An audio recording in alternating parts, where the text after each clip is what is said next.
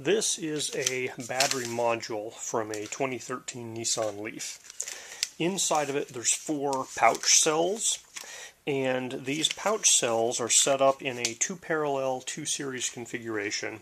So you have your plus, your minus, and then a battery sense in the middle.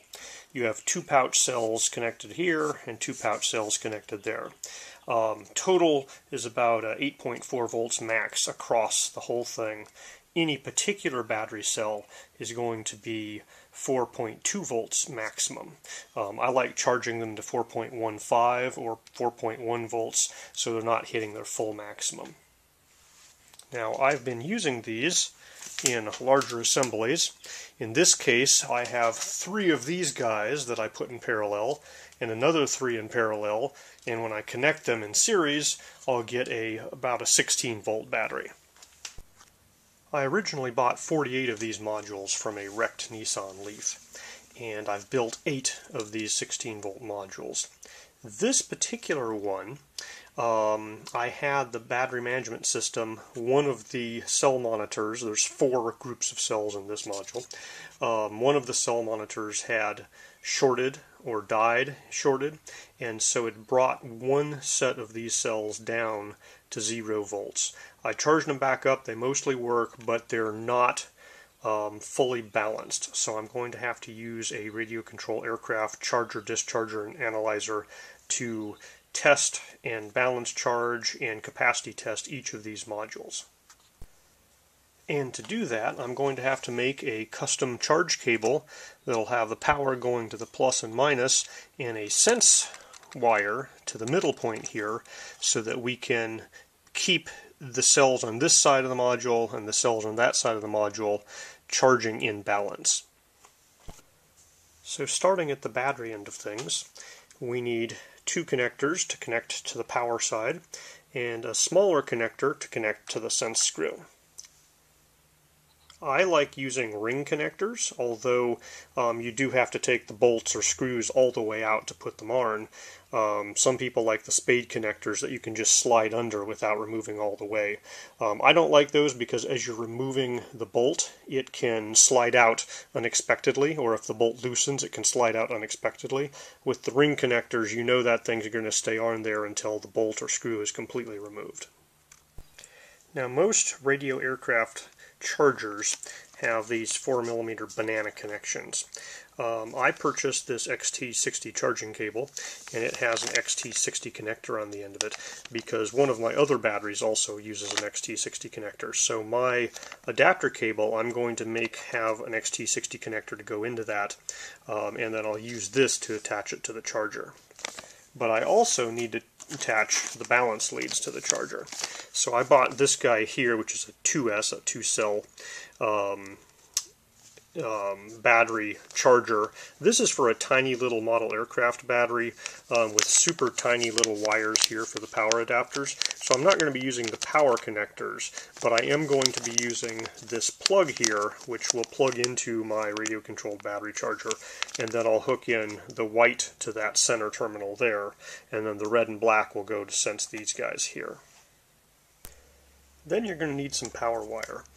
Um, this particular wire here, just hardware store THWN, this is 10 gauge. My RC charger balancer can go to um, 30 amps in or out and so I need the 10 gauge wire for that. I mean 30 amps at 8 volts is still only about 250 watts, um, but you need some pretty thick wire for that. You can buy special, you know, multi-thin conductor silicone coated um, model airplane wire that's super flexible. I didn't really need the flexibility since I'm dealing with such big batteries. I can you know, just stick these things on like that. Um, I did want black and red wires because my connectors are just yellow generic. So you definitely want to hook up you know the right polarity here. So having the wires be the right color definitely is going to help you avoid mistakes.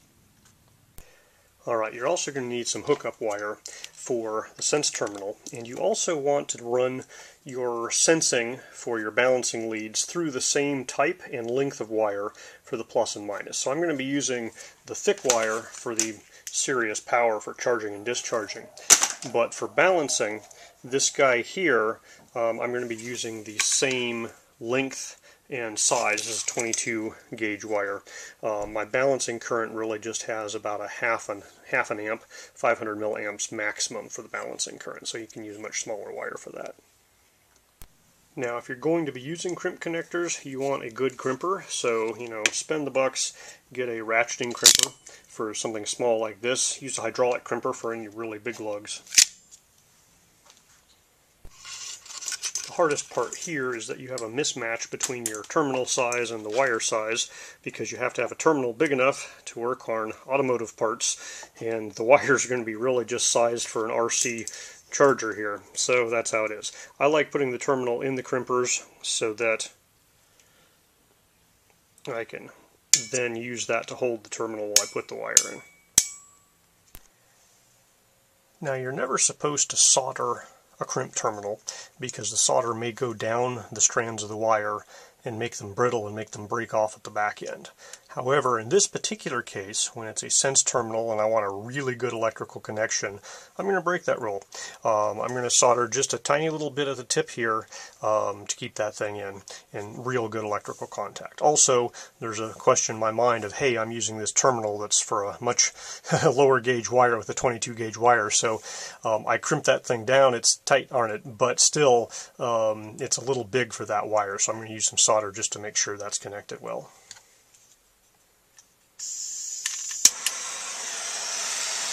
To minimize the amount of solder I'm doing here, I'm going to heat up the terminal first and then tap the solder just to the tip here after that heat goes down.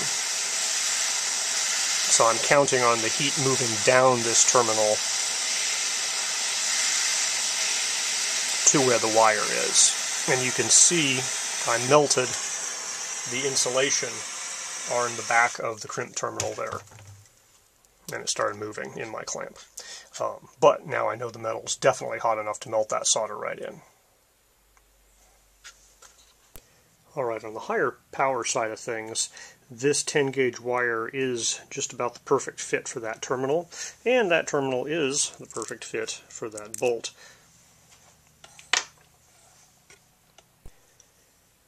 Alright, in another exception to good terminal usage, practices, you're never supposed to put two wires in the same crimp terminal. Um, however, because this sense wire is so small compared to the other one, I'm not too worried. If the sense wire should pull out, I think we're still going to have plenty of force gripping that guy in. Um, and if the sense wire pulls out, my charger will just say, whoa, the positive sense is wrong, um, and so I'm just going to not work. It's possible my charger has the positive side tied into the positive sense internally, so I might not even need this wire, um, but some chargers chargers have a separate, completely separate circuit for measuring the difference in voltage between the different cells. It's more accurate than their main power circuit. So I make sure both ends of the stranded wire are coming out to the same distance there.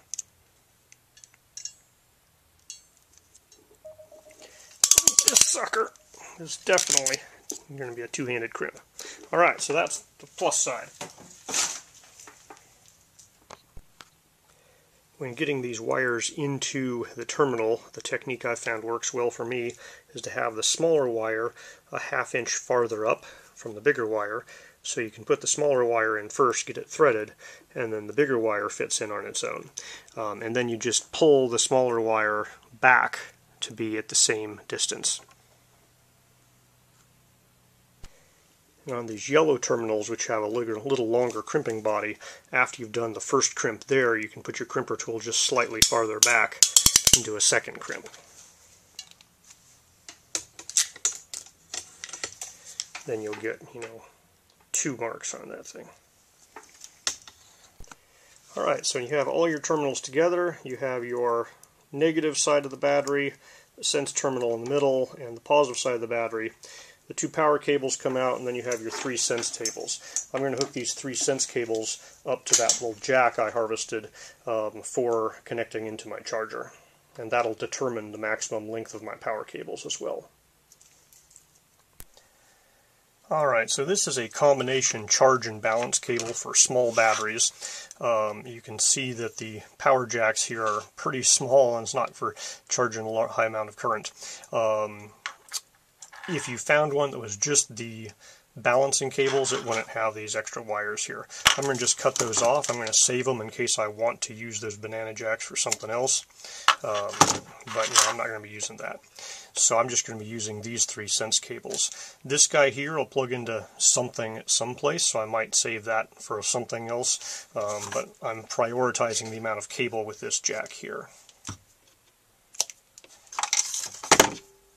And I have specifically picked my black, white, and red wires to match these colors here, um, just following industry you know, norms so that people can recognize what the heck this thing is if they find it. This is the point you remind yourself that the heat shrink tubing always goes on before you solder the wires together.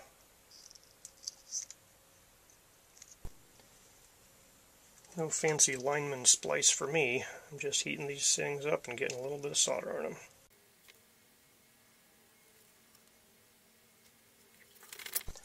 Another reminder, don't touch your heat shrink tubing to the hot wires until they've cooled. Now I've seen people do this successfully with a match, but I've always just burnt the sucker when I try that, so a hot air gun seems like the easy way to me.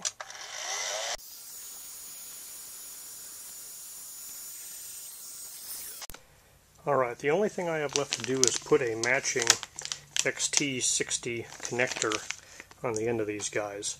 I want my power wires to be a little bit shorter than my sense wires because the sense wires are most likely to be broken if they get stretched. Um, so what I'm going to do here is follow this guy all the way down to my sense connector and that sense connector is going to be plugged into my charger. Also plugged into my charger are these banana jack connectors. So I'm basically following the banana jack connectors back up here, and that's where I need to cut these big power wires to put on my XT60, except I'm going to back it out a couple of inches just to make sure the power wires are a little bit shorter than the sense wires. Alright, the heat shrinking for an XT60 connector gets a little complicated.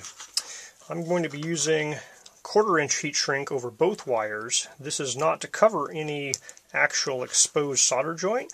It's just for wire management to keep these two wires together. Um, I'm going to be repositioning those later on. So those go down far.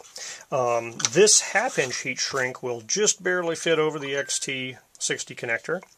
So that's going on both wires. And then we're going to need to cover the place where the wire actually connects to this guy. So I'm going to have individual heat shrinks. One's red for the red wire, although that's optional in the color, and a black one for the black wire. So that's what you need to put on before you try to solder this sucker together. So when you're soldering really thick wire like this that doesn't like to rotate easily, um, at the other end, I find it's nice to attach these terminals through a bolt so that they stay flat so that the other end of your wire doesn't twist out of place. Or I should say that when you solder it in the condition in the orientation it's at right now, these guys will stay flat to each other instead of one being, you know, 90 degrees out of phase with it. When soldering these XT60 connectors, I get out the big soldering iron. I like to fill the connector body with solder first.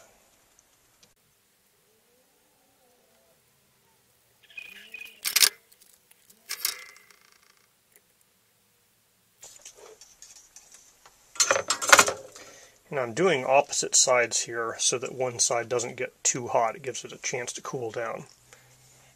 So, observing your polarity, you got minus up top. That's the black wire.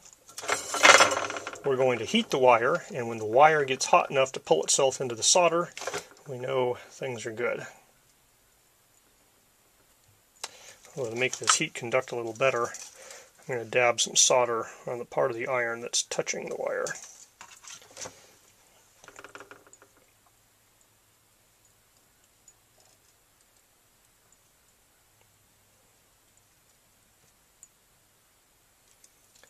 If you're doing it right, you're going to feel that wire get hot in your fingers, even underneath the insulation.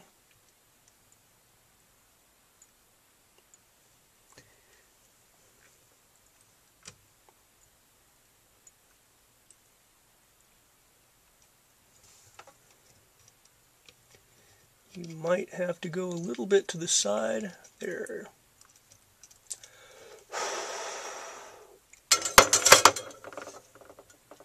You want to hold that in place while it cools off.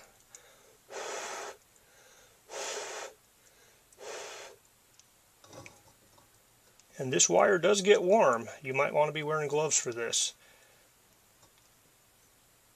You also want to make sure your heat shrink tubing is well down the wire so that warmth doesn't start shrinking your tubing.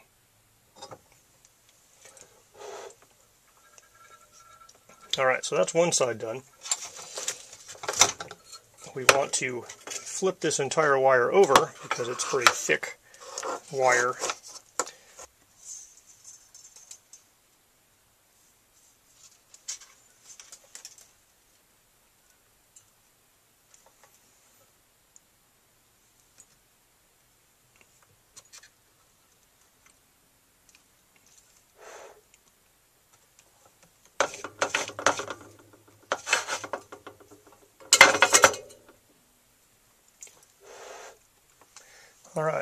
Connected.